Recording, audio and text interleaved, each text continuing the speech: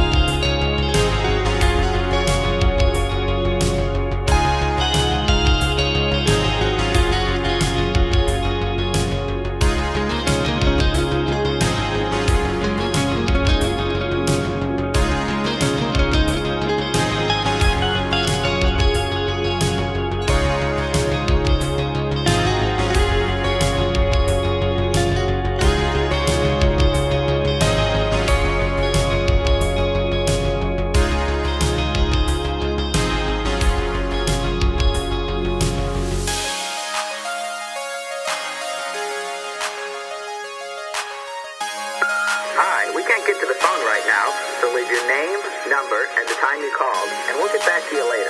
Thank you.